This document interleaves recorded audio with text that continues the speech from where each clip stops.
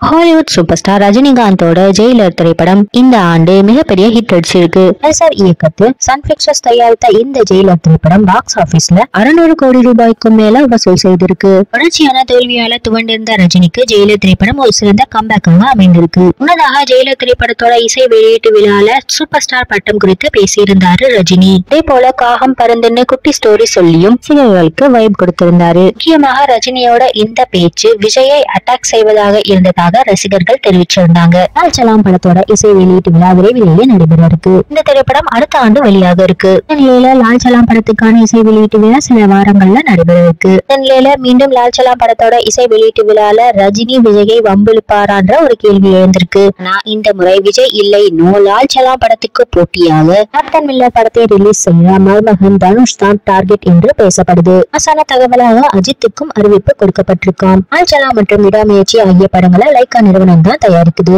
Lyca தயாரிப்புல உருவாகிற அனைத்து படக்குழுவிற்கும் அறிவிப்பு கொடுத்திருக்காங்களாம். இதனால அஜித் தரப்புல இருந்து அவரோட குடும்பம் கலந்து கொள்றதுக்கு வாய்ப்புகள் இருக்கு. அஜித்தோட பெயரை சொன்னாலே மொத்த அரங்கமும் தெரிக்கும்ங்கிறது எல்லாருக்குமே தெரிஞ்ச விஷயம்தான். ஆல்சலா படத்துல கேமியோவாக நடிச்சிட்டு வர்ற ரஜினியோட பேச்சை கேட்கறதுக்காக ரசிகர்கள் வெயிட்டிங்ல இருக்காங்க.